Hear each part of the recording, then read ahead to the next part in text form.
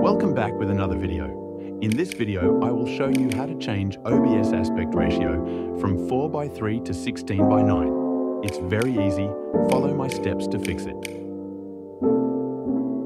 Open OBS Studio and go to Setting.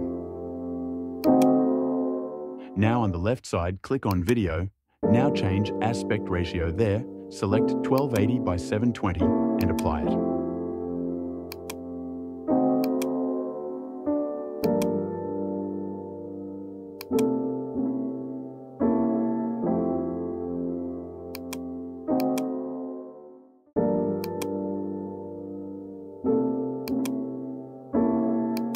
Now select the screen and right-click on it, and click on Transform, then Edit Transform.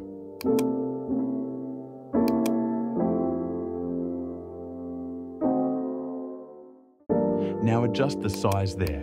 In my case, I have to increase it to make it fit on the screen.